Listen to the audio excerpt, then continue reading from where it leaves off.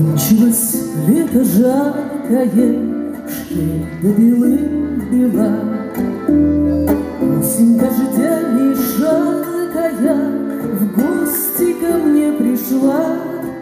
Авторские песни прозвучали в Доме офицеров на зимнем Грушинском фестивале. На концерте исполнили сочинение одного из основоположников жанра авторской песни Юрия Висбора. В этом году ему исполнилось бы 90 лет. Висбор любил Грушинский фестиваль и неоднократно его посещал. Известного советского барда не стало в 1984 году, а его песни поют до сих пор.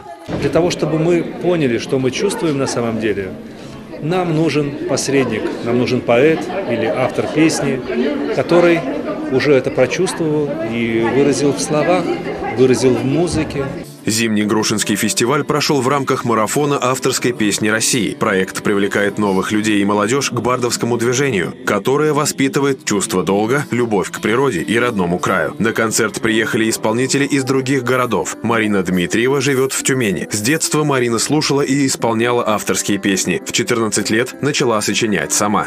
Бардовская песня, мне кажется, у нее в основе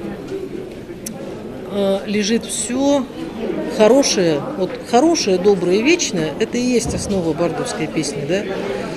А, то есть это про любовь к родине, про любовь к детям, а, там, про любовь э, к мужчине, к женщине, про дружбу, про семью, да, то есть это вот те самые общечеловеческие ценности, да, которые нам всем сегодня необходимы.